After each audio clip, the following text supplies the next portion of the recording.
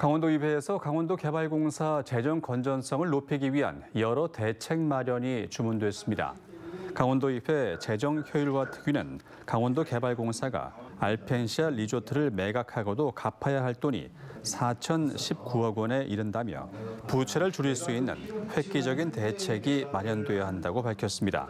또 현재 부채 비율이 700%에 달해 이 비율을 300%까지 낮추지 않으면 새로운 사업을 할 수 없다고 지적했습니다.